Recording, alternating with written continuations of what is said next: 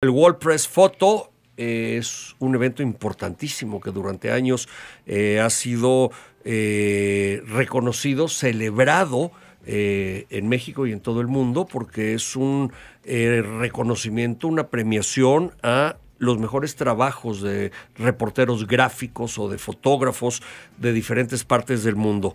Eh, efectivamente reconoce el trabajo de aquellas personas que están atrás del lente de la cámara eh, o bien que son fotógrafos documentales y ahora llega al, Museo Franz Mayer, otra vez está el Museo Franz Mayer y Fuji, Fujifilm México es patrocinador.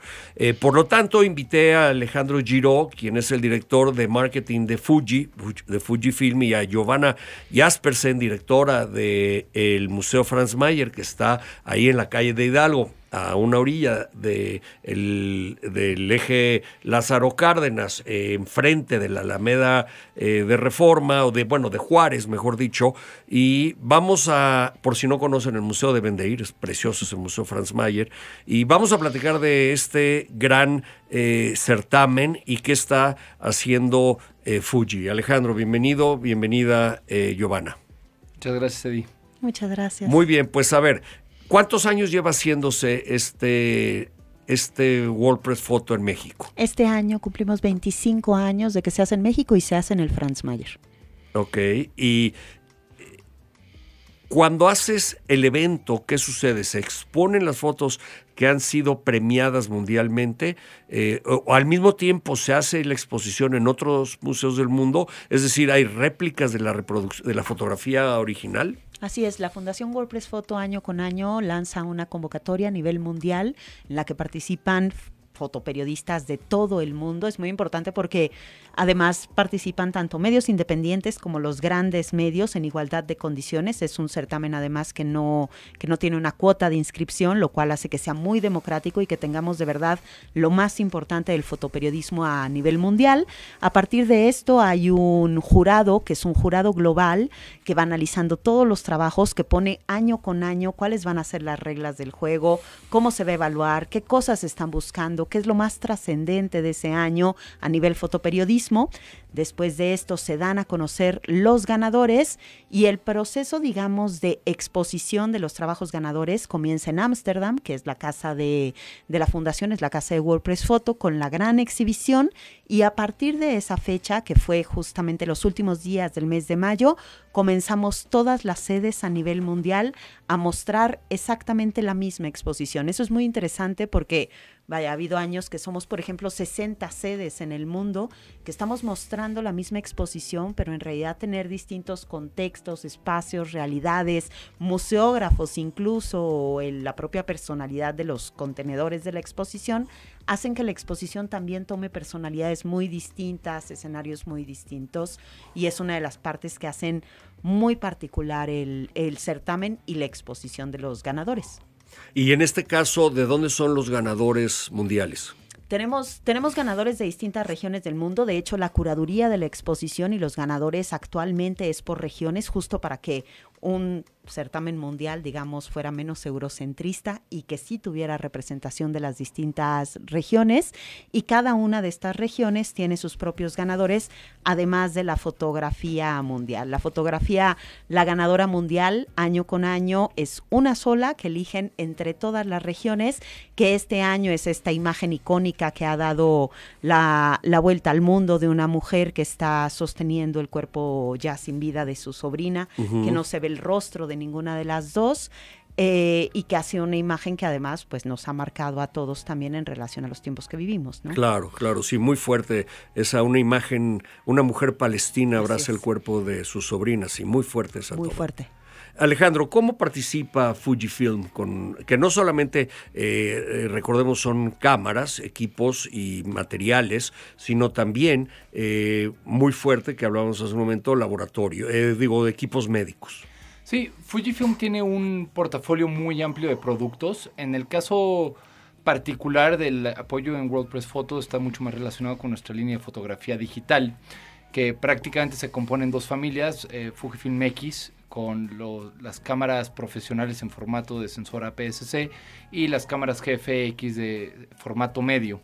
Eh, y bueno, este es el primer año que estamos eh, trabajando de la mano con WordPress Photo. Estamos muy contentos con esta alianza porque realmente creo que es una alianza muy natural entre, nuevamente, entre WordPress Photo y Fujifilm porque nuestras cámaras se prestan mucho al fotoperiodismo, están muy eh, hechas para tenerlas en la calle, ser activas, ser ágiles. Resistentes. Resistentes.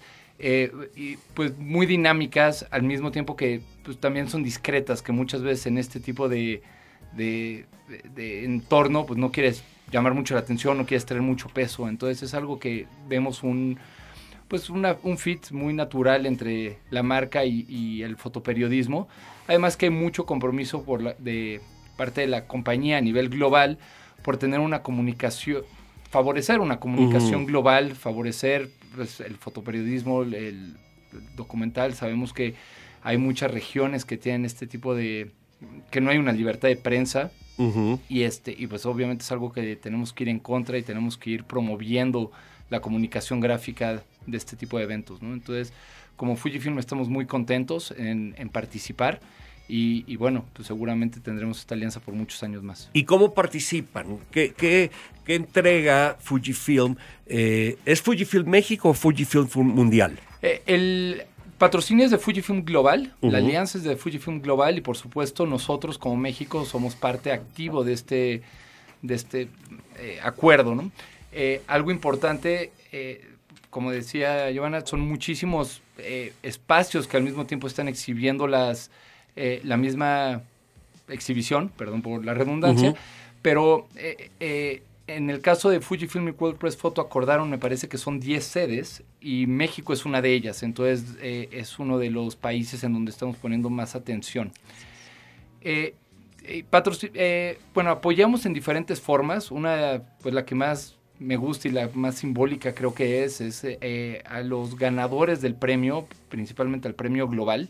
Esta foto que mencionábamos de la mujer afgana es un, perdón, de la mujer palestina. Ajá es de una de las cuatro categorías, que es la fotografía individual, pero hay cuatro categorías en el concurso, que es este individual, eh, reportaje gráfico, que es, ya son una serie de fotografías, ya no es una imagen única, eh, proyectos a largo plazo y un formato abierto. Entonces, para cada uno de estos ganadores de los cuatro eh, segmentos, digamos, Fujifilm apoyó con una cámara de formato medio GFX 102, además de dos lentes que ya el fotógrafo pudo seleccionar.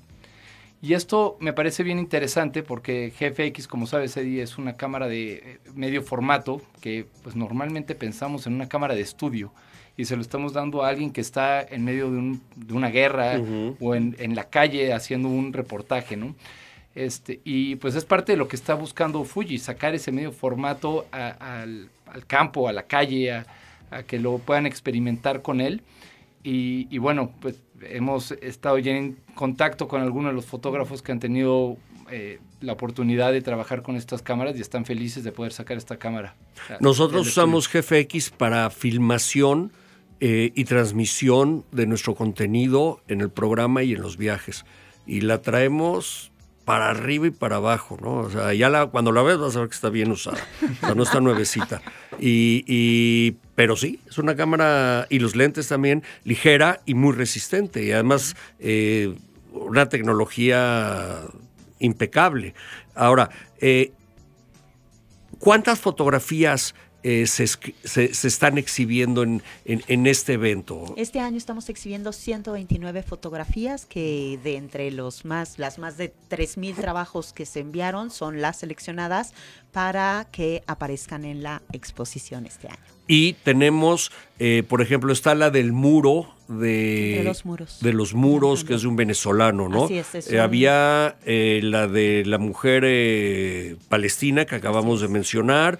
Está, por aquí tenía yo mi anotación. Hay otra que es como se vive la guerra, de un portal de, imágenes de la guerra, ruso, polaco, no ucraniano eh, que hablan de la guerra en Ucrania justamente. ¿Cuál la otro? guerra es personal.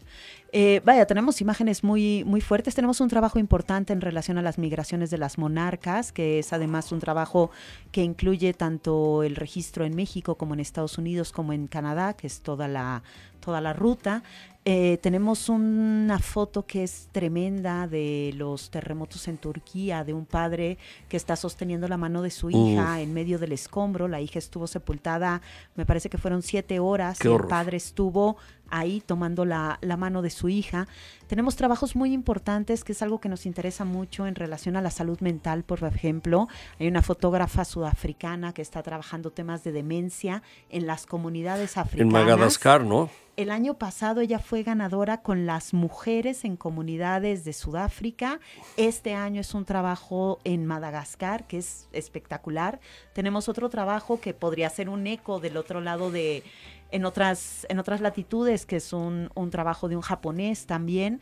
Y creo que, que, muestra mucho de lo que está sucediendo en el mundo, como año con año nos permite WordPress Photo escuchar estas historias que no por ser lejanas nos deberían de resultar ajenas y comprendemos la exposición mucho como un ejercicio de escucha, ¿no? Al estar frente a una imagen, no es el que estés abriendo una ventana contemplativa en relación a la belleza, es que estás haciendo un ejercicio de escucha frente a una historia de personas que no deberían de ser únicamente cifras huecas en la, en la prensa, ¿no? Y yo ahí sí puedo sumar a lo que, a lo que mencionaba Alejandro, creo que de los casos que fueron muy importantes en México este año es que logramos hacer una correspondencia entre quienes están apoyando el, eh, la fundación a nivel global y el interés en, en, México, ¿no? Que esto no se logra siempre o en todos los países y a nosotros nos hace sentir muy orgullosos, ¿no? Que no haya esta desconexión, digamos, de la marca a nivel global con lo que sucede en territorio y en, y en México y creemos que también ha sido muy importante, vaya, tuvieron una revisión de portafolios, hicieron un recorrido también con, con los ganadores y con el equipo de la fundación y creemos que eso ayuda mucho a que la comunidad de nuestro país se sienta también cercano y tenga la confianza de preguntar por los equipos justo de si puedo utilizar uno, no puedo utilizar otro, porque finalmente el apoyo a la fundación es también el poder honrar el trabajo de los fotoperiodistas, ¿no? Tenemos personas que están arriesgando la vida, tenemos personas que probablemente tienen que trabajar siempre en condiciones adversas y WordPress Photo se convierte en un ejercicio de ida y vuelta en el que celebramos su trabajo, honramos el resultado que tienen él y también ponemos en el mismo valor, por una parte, las historias y por otra, la experiencia y el trabajo de los fotoperiodistas que regularmente pues están tan callados como las personas que aparecen en la nota o en la prensa, ¿no? Muchas veces lo que se, se firma es la, es la palabra escrita o es la nota y en muchas ocasiones es, es difícil poder saber quién está detrás de una imagen a pesar de que en muchos casos son tan contundentes como lo puede ser la propia historia. ¿Y hay alguien explicando cámaras ahí en el museo durante esta exposición? No, realmente es un eh, apoyo más, eh, no tanto a nivel producto y comercial, digamos, es más conceptual, lo mm. podríamos decir de esa forma.